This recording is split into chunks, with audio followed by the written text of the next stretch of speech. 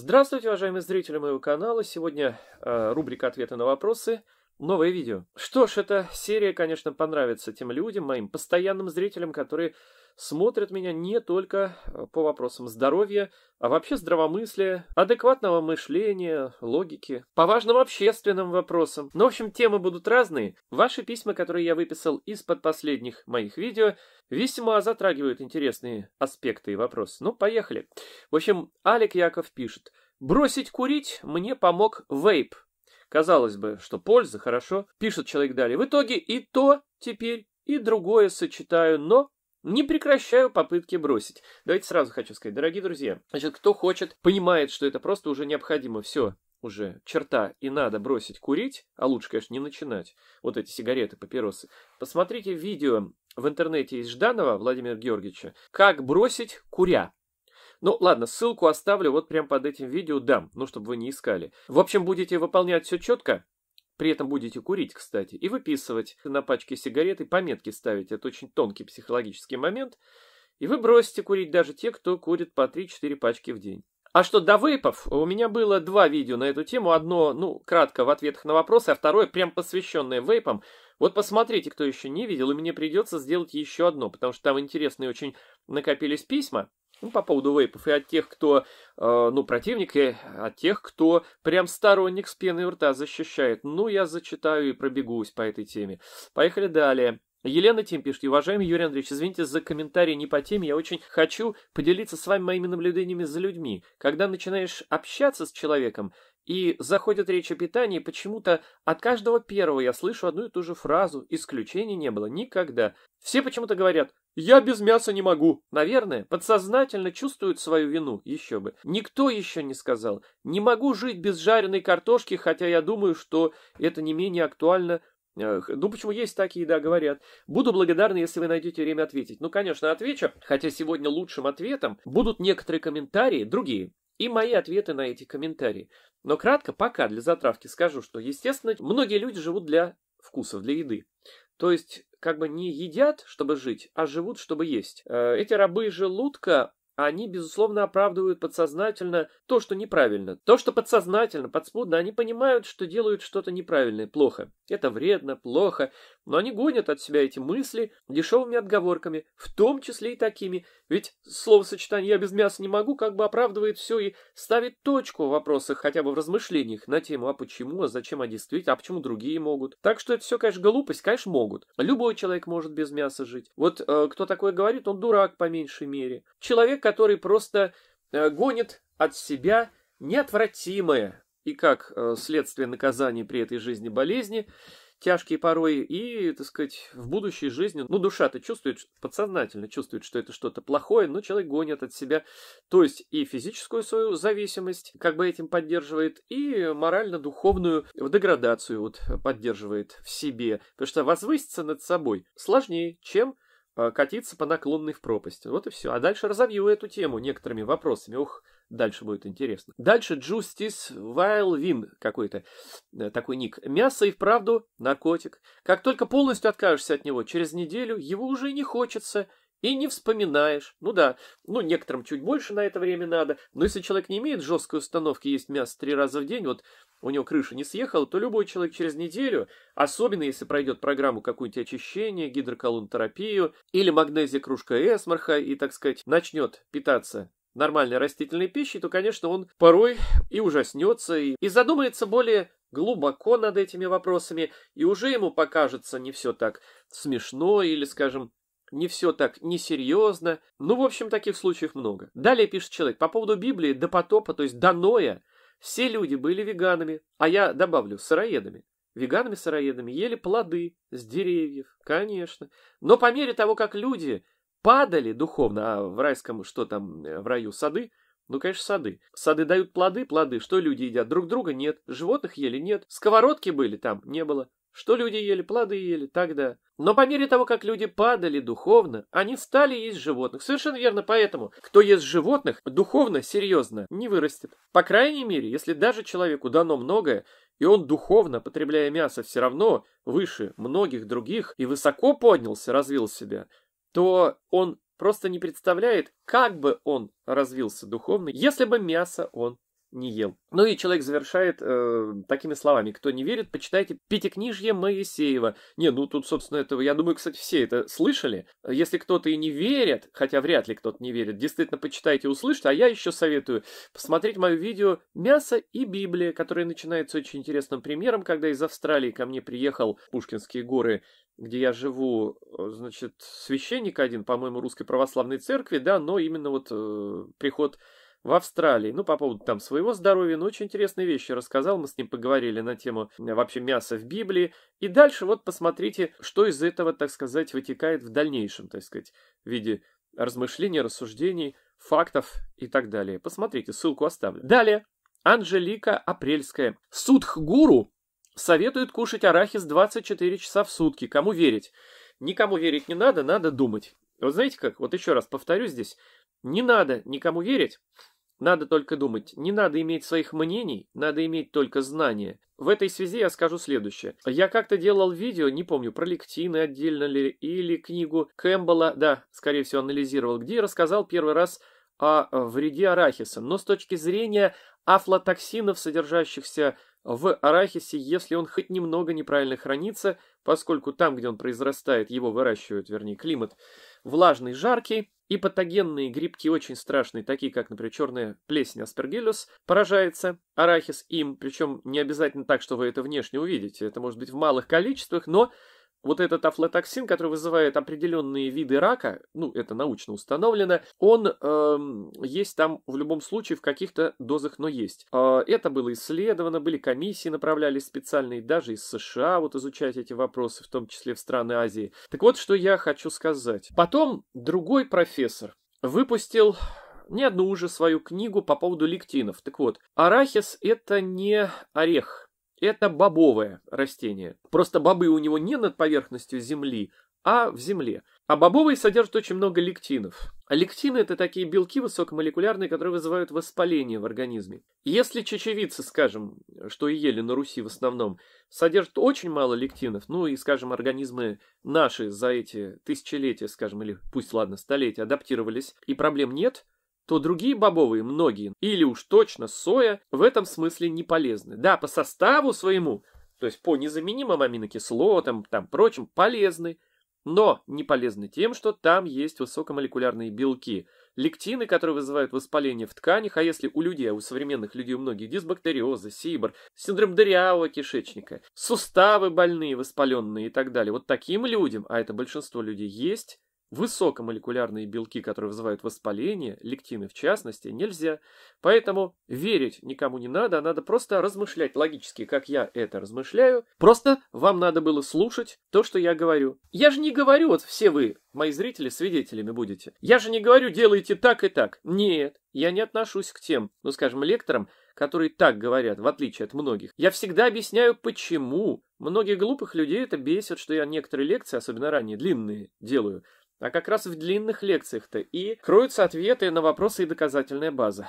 Ну вот так-то. Далее. Ник Ника. Да, вы будете во мне человека. Последний раз это было насчет вредных, искусственных сладостей. Через время я понял, для кого и почему они сделаны. Я осознал влияние неестественных удовольствий в 21 веке и понял, что на нас просто зарабатывают. О, ну вот я только дополню. Конечно, дело не в заработке. Нет, ну если взять отдельно взятых бизнесменов, там, скажем, кто открывает очередную кондитерскую кулинарию, это понятно, что для них да. Но говоря глобально, вот глобально, ведь понимаешь, что это вред. Наука это прекрасно понимает. Но и люди там, простые люди, хотя они могут быть академиками, не думают многие об этом. Но тот опыт людей, а говорится как теория, это, так сказать, вещь сильная, но практика критерий истины, когда человек перестает, скажем, есть сладкое, вот делает тот переход, о котором я говорил в многих своих лекциях, например, инсулинорезистентность, э, что будет, если вы откажетесь от сахара на 10 дней, ну хотя бы в этих. Вот человек поступает так, и у него меняется, ну просто как под копирку, у всех улучшается состояние здоровья, ну плюс другие добавим факторы правильные, полезные.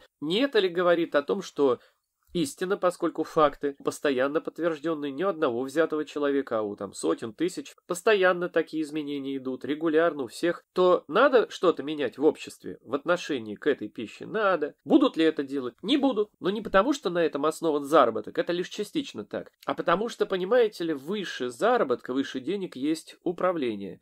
И сознанием в том числе. Управление сознанием народных масс идет в том числе через пищу. Ну, естественно, через одурманивающие вещи, в первую очередь табак, алкоголь, там другие наркотики. Но это и еда, как известно, сладкая, говорят, сахар тоже наркотик. Это абсолютно правда. Или мясо это наркотик, конечно. Выделяются морфины, но это подобные э, героину вещества. Естественно, мозг меняет, так сказать, сознание свое. Ну, искалеченное оно становится. Поэтому главное все-таки здесь не заработок. Здесь э, управление, власть, контроль. И дальнейшее глобальное управление, так сказать, ну, отупление людей, ну, для отупления, разумеется, там много факторов нужно и других, но и пища, ведь, понимаете, все, кто меняет свое питание, кто осознанно становится веганом, там, веганом-сыроедом, неважно. Эти люди на многие вещи, а они перестают употреблять алкоголь, ну, большинство, по крайней мере, из них, да, и тут меняется сознание в корень, люди начинают задумываться о таких вещах, о которых ранее не задумывались никогда в жизни. И для тех, кто управляет народами и государствами, или, по крайней мере, глобальными процессами, это как кость в горле. И поэтому, конечно, деньги вторичны. Первично – абсолютная власть. А это бесструктурные методы управления, понимаете? Сейчас как гордыню взращивают в людях, помимо прочих вещей, так сказать, и пороков. И люди взбунтуются сразу, по крайней мере, будут протестовать лично, моментально, сразу. Если говорить, а ну-ка делай это, делай это. Нет. Поэтому в общество вбрасываются такие предпосылки, такие образы, когда человек следует за ними – за этими образами, за этими установками, бессознательно, и это есть бесструктурный метод управления. Далее идем. Раусан Ната. Бабушка-веганка, а, ну в одном ролике в моем ответе на вопрос тоже, где я в очередной раз показал вот эту бабушку, которая с 20 какого-то года там мясо не ест и смеется, такая очень веселая, очень позитивная бабушка, и вот пишет человек, что бабушка-веганка прекрасна, а она с рождения не ест мясо, и вот говорит, так мои все уже либо лежат, либо мертвы, а я там говорю там одному, ну священник, батюшка, так я вот, мол, с рождения, потому такая здоровая, не ем мясо, так сказать, это. Так вот, мой отец тоже а, был с 28 -го года, вот 28-го она. Но умер, не дожив до 60 лет от рака печени.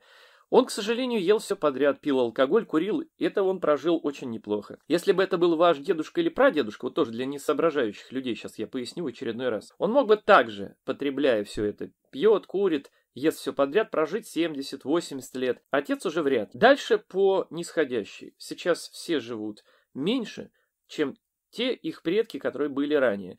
И это я сужу по той аналитике, которая у меня есть на основании тысяч писем под десятками моих видео о долгожителях и долголетии. Тенденция идет такова. Прабабушка жила 112 лет, допустим, бабушка там 95, мама там прожила 70, ну, то есть вот это вот просто. Исключений практически нет. Исключения есть только тогда, когда дети бедные, с уже генетикой, все-таки не подвергаются в жизни, взрослее, порокам своих родителей дедушкам, бабушкам, и тогда у них есть больше шанс прожить дольше. Я вам просто один, слушайте, их примеров тысяч. Я просто маленький пример приведу, что, например, вот художник Зиновьев был такой, у меня о нем видео есть. Он прожил, ну, почти 110 лет, там 109, да, с небольшим.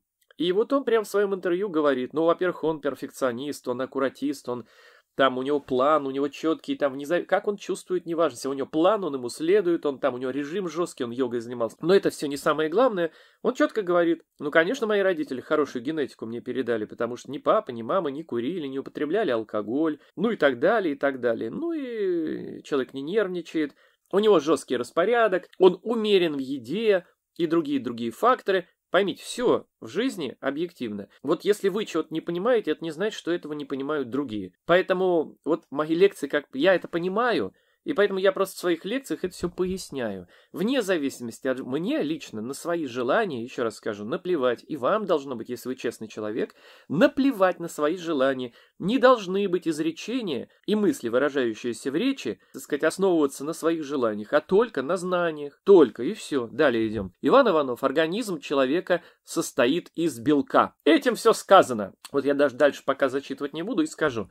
Этим не сказано вообще ничего. А что хочет этим сказать человек? Я уже и так это все понимаю наперед. Этим хочет он сказать, что все то, что я говорю, ерунда, то человеку нужно мясо, потому что мясо это полноценные белки, то есть все незаменимые аминокислоты, и прочие мантры, о которых любят говорить медики некоторые, биологи и тем более антропологи, верящие в то, что человек произошел от обезьяны, и австралопитеки или, скажем, неандертальцы, это их далекие недалекие предки, вот они в это глубоко верят, они любят потому что мясо и хотят через эту призму оправдать свое мясоедение, которое природе человеку чуждо, безусловно. И еще раз напомню, что маленький ребенок воспринимает любое животное как друга своего, пока родитель не научит обратное, но не как еду. То есть все от рефлексов до порывов человеческой души, совести, справедливости, сострадания, все, что в человеке есть человечного, говорит о том, естественно, что это не пища для человека. Так, ладно, Этим все сказано.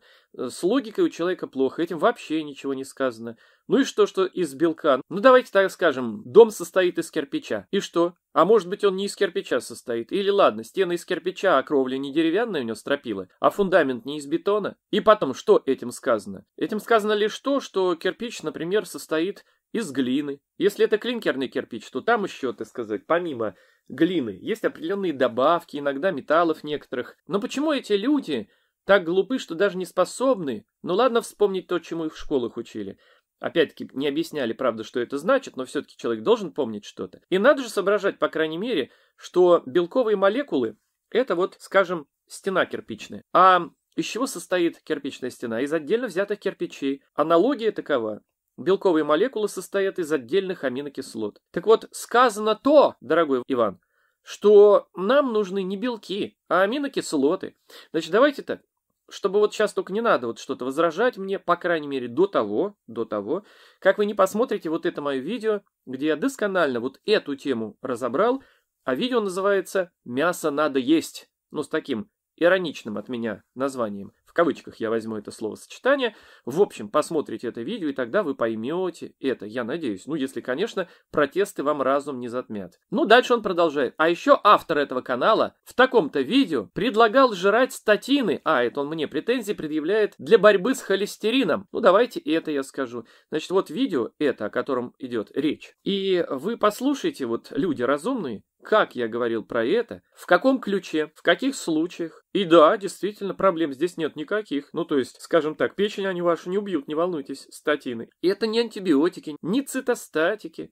Никаких проблем здесь нет. Но всем ли я советовал? Предлагал ли я жрать статины? Ложь, не предлагал. Дальше он пишет не объясняя, но хорошо, что хоть не огульно, что прежде всего необходимо сдать анализы. Ложь, конечно, я это говорил. Дабы определить, какой холестерин повышен. То есть, мол, он, имеет в виду низкой плотности, высокой плотности, то есть вредный либо полезный повышен. Ну, прекрасно. Ни в одном своем видео я про это говорил. Я всегда говорю, что необходимо проходить обследование перед началом того или иного лечения. И, естественно, в том видео я говорил, что сдать анализы необходимо. Разумеется, если повышенный плохой холестерин, я говорил, что принимать статины в том случае, если в близкосрочной перспективе по-другому снизить у вас не получается, потому что шансов в этом случае умереть от серьезной проблемы очень высокий, а статины, по крайней мере временно, вам помогут избежать этой проблемы с инфарктами и инсультами от повышенного холестерина плохого. Дорогие друзья, маленькое объявление на несколько секунд. Я прошу вас после завершения просмотра этого видео посмотреть вот это видео. Про одного подонка, мошенника из Дагестана. Вы должны это знать, знать его в лицо и помочь мне, как и всем честным людям, обезопасить себя и других от этого мерзавца. И дальше, как всегда, человек пишет чушь в таких случаях, выводы делайте сами. Вот как любят делать выводы те, кто на эти выводы свои, исходя из того, что он написал, не имеет никакого ни права, ни основания. Но сейчас большая самая проблема в обществе это, это большая и большая деградация членов многих членов этого общества, то есть не всех людей, но большинства. Соображать люди перестали, как стали смотреть сериалы, как перестали читать серьезную литературу и стали читать Донцову и прочее, то есть разное чтиво для убийства времени своего. Ну а как стали смотреть разные телешоу и прочее, так сказать. Когда в обществе и в мире, в том числе в целом, да, появилось все больше и больше абсурда, которые выдают якобы за какую-то там правду и истину, тем люди все больше и больше начали деградировать. И теперь для них выводы сделать очень просто. Вот и делают такие умники свои любимые выводы из того, из чего их сделать невозможно. Для выводов нужна какая-то информация, по крайней мере правдивая. А если эта информация искореженная и основана не на том, что я говорил, а основана на том, что вы хотели слышать, и якобы услышали из моих видео от своей злобы и протеста, ну, потому что жрать мясо вам хочется, и вы верите, что ничего страшного в этом нет, вы пытаетесь себя в этом убедить, и поэтому, как непорядочный человек, вы серьезно вопрос не изучили, и даже меня серьезно не послушали, даже в одном видео. Но зато выводы сделали. Ну вот, дорогие товарищи, не берите пример с таких глупых и нечестных людей. Далее, Светлана Мишина. А мне наоборот, длинные видео ваши нравятся. Прям радуюсь, когда вижу, если 25-30 минут как минимум. Как будто посещаешь шумную лекцию с разъяснениями. Мозг должен понять, для чего ему это надо. Ну, абсолютно верно, это слова разумного человека. Вот вам на контрасте. А не только готовые факты, абсолютно согласен. В скобках, мимо которых в основном люди мимо проходят. Да, абсолютно точно. Спасибо, Юрий Андреевич. Пожалуйста, и вам, Светлана, моя благодарность за вот это письмо, которое отражает, собственно, мои мысли. И я в таком ключе делаю свои видео. Даже если они короткие, я пытаюсь быстро говорить и дать в этих малых минутах огромный объем логичной информации. Да, и более того, я даю еще ссылки под каждым видео, потому что я ведь развиваю тему, да, какую-то. Я не могу все рассказать в одном видео, но я говорю, объясняя кратко что-то, говорю, а вот подробно, вот в этом видео вы можете эту тему понять. Но многие глупые люди как делают? Они, естественно, не смотрят те видео, но уже имеют свои мнения. А умные люди посмотрят, и вот тогда, если что-то вдруг непонятно, хотя тогда все понятно, потому что я именно так и делаю, чтобы люди, в общем-то, вопросы не задавали, если они изучат. Но люди ленятся, иногда спрашивают, часто пишут, прям вот в видео я про это говорю, а они спрашивают про это. Значит, видно, что человек даже не досмотрел посмотрел видео, да, многие ленятся, не досматривают. И судят, знаете, иногда многие, по каким критериям? А только по названию видео или по первым строчкам в описании. Вы представляете? Да, таких сейчас много. Влада Кучук. А моя родная сестра соглашается, да, говорит, ужасно, что приходится убивать животных. Но что же делать? Мол, так повелось, и человек должен есть мясо. Во как? То есть у нее установка. Он должен, бедный человек, ну, ну вот хочешь не хочешь, но приходится есть. Другого мнения слушать не хочет. Видите как? Ага, то есть тут от безысходности якобы, ну что делать? Должен есть. Я бы, может, и не хотела бы, но приходится. Типа, а другого мнения слушать не хочет. А почему? А потому что эта душонка, эта дамочка, она хочет это жрать. Вот и все, остальное дешевые отмазки. Иначе бы, как честный и разумный человек, тем более если говорят ей, мы тебе жизнь хотим, как говорится, увеличить хотя бы этим и совесть твою очистить, ну посмотри, послушай эту информацию. Она отнекивается, даже слушать не хочет. Это очень нечестный человек и подлый, потому что она оправдывает свои желания, из-за которых убивают животных ни в чем не повинных, а она оправдывает себя вкусными мыслями, мол, что делать так повелось. Так вот, ну а вы прервите эту нить несправедливости. Прервите, в ваших силах это. А ведь это самый близкий мне человек, продолжает Влада. И дети также. И вразумить я не могу. Ничего не получается. А как послушаю вас, так вся душа моя негодует от бессилия. Я прекрасно вас понимаю, и у меня негодует от бессилия. И, кстати, некоторые, знаете, вот глупые люди, опять-таки, мясоеды, говорят, вот, веганы такие злые там и так далее. Ясное дело, они злые потому, порой, хотя далеко не все, есть очень много блаженных таких, знаете, как типа йоги, которые там вот прям вот реально блаженные люди, поэтому не все, давайте быть честными людьми до конца, не все веганы такие, а вот есть такие люди, а что среди мясоедов злых нет, там есть и каннибалы, и садисты, кстати, они все мясоеды, я имею в виду, э, каннибалы, да, например, как минимум, ну и так далее, так сказать. Ну а кто прав-то? Ну а прав, наверное, тот, кто хочет защитить неповинные жизни, не хочет, не может видеть, не принимает мир, в котором столько садизма и насилия, не только по отношению к людям, но и к миллиардам убиваемых животных в год. А животные все чувствуют, они живые, у них такая же кровеносная система, как и у вас, нервная система. А дельфины, кстати, если вы не знали, сейчас наука это точно установила, имеют более 15 тысяч различных, э, реально гораздо больше, то, что вот расшифровать смогли. Вы знаете, что сейчас, например, э, вот эти ультразвуковые сообщения, которые друг другу с разными частотами они посылают, разными вибрациями, интонациями, назовем так, даже имена, эта наука, я серьезно говорю, установила сейчас, вы об этом, наверное, не слышали. Имена дают своим детям, имена, и общаются друг с другом по именам. То есть, вот понимаете, в чем дело? Ну, конечно, кто-то скажет, это дельфины, а это коровы. Вы что, дебилы, что ли, я вам тогда скажу? Нет, конечно, никакой разницы. Ну, как это так? Это, а коров... Вот, давайте так. Вот еще раз послушайте вот этот отрывок. Что сказал на эту тему? Да, он мясоед, но он честный человек. И не какой-нибудь там Вася на диване с пивом в руке. Или дамочка с маникюром, которая, ну что же делать, я буду убивать и есть коровок. Ах-ах-ах, не я лично убиваю. Ну-ну, двуличная негодяйка. Так вот, а что на эту тему честный человек сказал? Охотник, промысловик, который этим живет. Суровый мужик, на полгода уходящий зимой в тайгу, добывающий, к сожалению, соболя там и так далее, ну, живет так считает по-другому, вот не может, традицию некую соблюдают, такой вот его стиль жизни. Но мудрый человек от природы и совестливый. Когда он держал свое хозяйство, ну, летом там жена занимается, а надо, так сказать, вырос бычка убить на мясо. Вот что он сказал. В кого пальцем нет ни тот убийца или пособник убийцы. В любого, в любого человека, даже тот, кто там стонет, жалеет всех. Почему? Очень просто. Хозяин свинью держит, он ее заведомо для чего держит? Убить. Убить для чего? Самому есть и продать. А тот, кто жалеет это все дело, покупает у него это мясо. Так что здесь круговая порука в этом деле. И охотник точно такой же, как тот же хозяин. Только он более, как тебе сказать, честнее. Ну, не то, что честнее. Этот человек заведомо кормит. Я вот тоже держал скот, и у меня рука не подымалась на него. Потому что там вот тот же бык, его два года держишь. Но он к тебе доверяет, он к тебе подходит, ждет от тебя там какой-то ласки, подачки, а ты ему пулю в лоб. Предательство. А здесь зверь, дикий, он знает, что от меня добра он не дождется он. От человека имею в виду. Он старается убегать здесь, кто кого перехитрит, естественно. Так и не смог Геннадий Соловьев забить своего быка. Соседа позвал. Ну что, поняли? Ну хотя бы не стыдно вам, потому что вот порядочный человек, по крайней мере, ясно и скажет, да, предательство, убийство, круговая порука, такой же соучастник убийства, тот, кто покупает это мясо, вот эти дамочки, абсолютно такой же. И я скажу, добавлю, что за это придется отвечать и в этой жизни, и в следующей. Ну, а оправдывать себя, успокаивать ложью.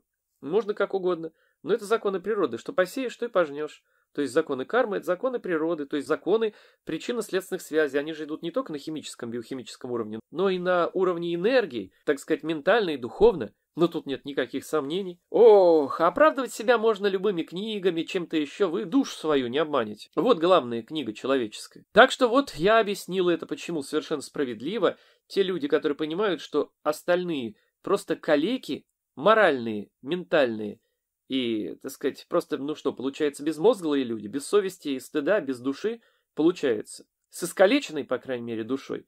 Так, э, естественно, людям тяжко осознавать то, что они не могут достучаться своей истине. Это знаете, как если перефразировать слова из стихотворения молодого Сталина, кто-то будет сейчас тоже удивлен, что ходил он от дома к дому, ну, говоря как бы о Христе, написал стихотворение, по-моему, лет 17. И там такие слова, что вот это вот «стучался он в сердца людей».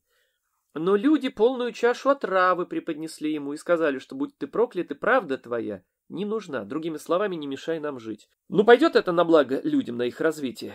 И физическое развитие, и духовное, как вы думаете? Вот скажите, напишите здесь под этим видео, что я не прав, что ли? Ну, я, я, знаете, дело не во мне вообще, вообще не во мне. А в том, что я просто сейчас эту правду пытаюсь до вас донести. Ну, до всех. И кто-то ее принимает, понимает, что это так, а кто-то понимает, но э, злится от того, что он теперь понял, и как ему жить с этим. Он же хочет жрать все это. Он хочет жить для брюха. И он бессовестный человек, но и даже бессовестного грызет совесть. Она ведь врожденно-то существует у любого человека. Оттого и злоба.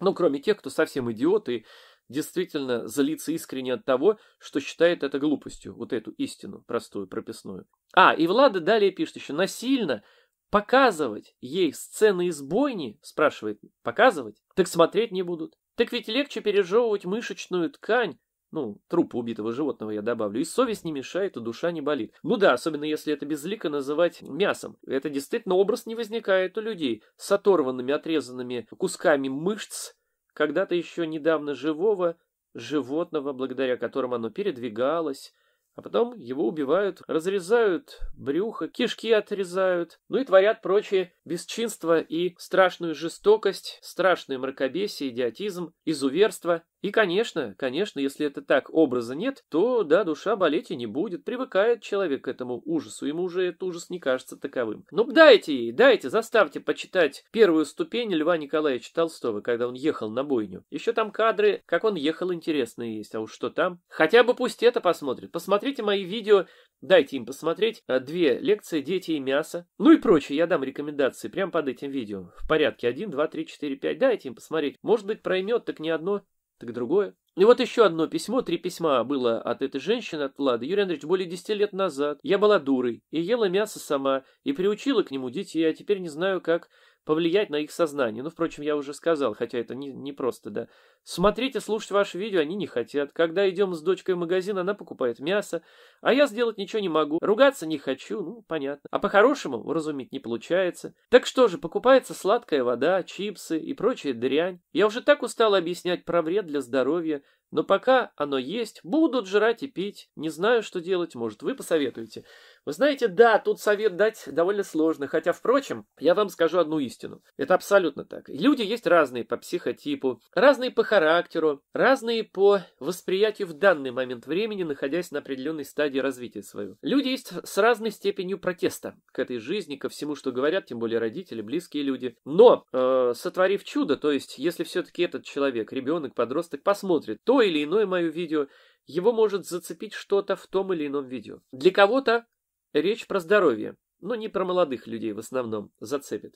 Это только единицы. А вот про этические аспекты или про аспекты разума, человек ли я вообще, что я творю, и так далее, могут зацепить. Разного человека никто никогда не поймет, но это надо быть очень хорошим психологом и чувствовать человека, что же ему сказать. Вот в личной беседе я гарантированно ваших детей смог бы переубедить. Не то, что переубедить, а просто своими вопросами и ответами на них, беседой смог бы достучаться до разума, глубоко запрятанного. И человек вынужден был бы просто признать под неопровергаемой э, кучей фактов, данных, этой информации, доказательной, всеобъемлющей и очень простой на самом деле, я бы смог объяснить, и они бы поняли, что они не правы. Но я же не могу в каждую семью прийти.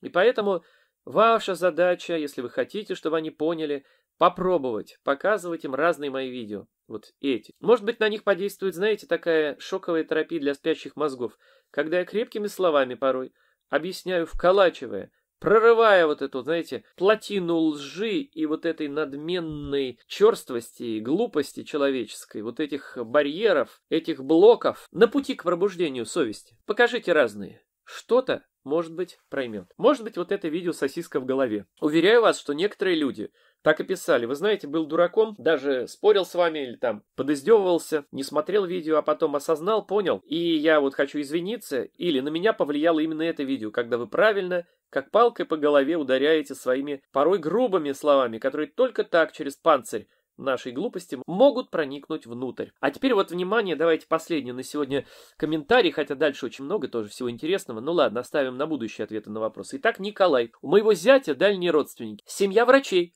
в районной больнице. Он и она. Жили в своем доме, держали свиней, ели все подряд, и уши, и хвосты, и ноги, и вообще все. Безотходное производство. Она заболела раком кишечника, ну это естественно, и умерла довольно рано. Он заболел сахарным диабетом. Отрезали сначала одну ногу, затем другую. Затем он умер. Я сам с ним не разговаривал. Разговаривал мой зять, которого я научил уму-разуму, долго учил, но в конце концов он понял, и поменял питание. Во всяком случае, был информирован о вреде мяса. Зять ему сказал, что все это у него от мяса. Он ответил, а что же тогда есть? Вы представляете? На этом я сейчас маленькие комментарии свои дам и продолжу. Во-первых, у меня есть видео.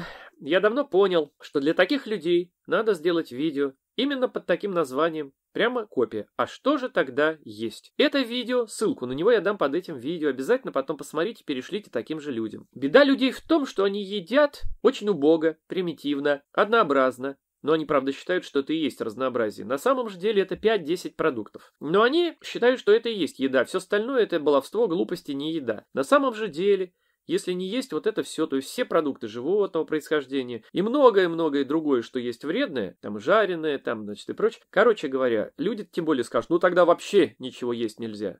Ложь. Можно 95%. Вы всего лишь убираете максимум 5% из всего вот этого списка моего большого. 95% оставляете. Удивлены? Но я приведу вам такой пример. Сейчас вот люди едят картошку, например, как гарнир, в основном только ее. А что она заменила? Ну, только заменила в плане не пользы своей, а, так сказать, то, что люди едят, то забыли, а это начали есть. Это картошка одна, а это было вот что. Репа. Пять видов редьки. Красная, черная, там, брюква, торнепс, корневой сельдерей, дайкон. Почти все сейчас это не едят. Едят только картошку. Но вы можете после этого моего одного примера, их много, продолжать утверждать эту чушь, что, мол, есть нечего тогда. Да нет. Проблема в том, что вы только лишь другое считали за еду, малое убогое, любимое мясо, жареную картошку, и что-нибудь еще. А на самом деле все это такое однообразие. Ну и такой вред, ну и наркотик. Поэтому люди даже не думают об этом и просто верят в то, что разнообразие есть то, что им хочется есть. Продолжаю. Умирал мучительно. Кстати, был зав клиникой. У зятя, приятель, мне как-то сказал, если заболел, надо идти в больницу к врачам. Они же на это учились. А я ему ответил словами Поля Брега, что к 40 годам каждый сам себе врач или дурак. Ну да, логично. От себя добавил, что сейчас лучше годам к 25, а то в современных условиях, проживая до 40, можно и не дожить. Абсолютно верно. Тем более, если человек начинает курить вот эти вейпы, парить, как они говорят, идиоты. Значит, там пить алкоголь, курить, жрать все подряд, тем более вот это все синтетическое, в упаковках, рафинированное, с красителями, эмульгаторами, улучшителями и так далее, то 40 это почти для новых поколений несбыточная мечта скоро будет. Дальше. Лично у меня в больнице даже карточки не было. Ну и у меня, кстати, тоже. Завели недавно из-за травмы ноги по неосторожности. Добавлю, что в доме ни одной таблетки. Жене строго-настрого запретил посещать аптеку, склад, магазин ядохимикатов. Разве что купить вату, бинты, йод и лейкопластырь. А мы, кстати, производим вату из льна, которая является природным антисептиком. Во время Великой Отечественной войны Именно льняная вата в основном была, а не из хлопка. Это имейте в виду. Кстати, у нас есть зубной порошок. Можете поддержать отечественное, почти убитое производство в разрушительные 90-е и 2000-е годы, когда все разрушали, вывозили, продавали, предавали. И, кстати, посмотрите мое видео «Лен и конопля дороже золота и нефти» и простыдитесь. Так вот, если захотите, то и и это абсолютно экологически чистое, которое есть можно. Это идеальный сорбент. Просто жалко, дорого есть. А так идеальный сорбент. И запомните главное. То, что нельзя съедать, есть. Нельзя наносить ни на кожу, ни на слизистые оболочки. Поэтому вот я, например, зубы чищу этой не зубной пастой, а порошком зубным из центральных вот этих волокон, стержней льна, измельченных до наночастиц. И зубы чистят прекрасно, если проглотил, что только польза, а не вред. Но вот к жизни так надо подходить. Понимаете, все на самом деле несложно. Абсолютная истина. Кто ищет, кто хочет, тот всегда найдет. Но это абсолютно так. Хочешь изменить свою жизнь, ты можешь ее изменить. Остальное дешевые отмазки чтобы только ничего не менять в своей жизни и упиваться якобы в своей безысходности, безнадеге, и что от вас ничего не зависит, и вы тогда только и будете искать отговорки и плыть по течению. Ну, и это и приведет вас к тому, о чем и написал вот человек Николай а чуть выше. Ну, таких примеров миллионы, не тысячи, не сотни тысяч, а именно миллионы. Ну что ж, остальное и очень интересное разберем в следующих ответах на вопросы, а на этом, пожалуй, на сегодня все.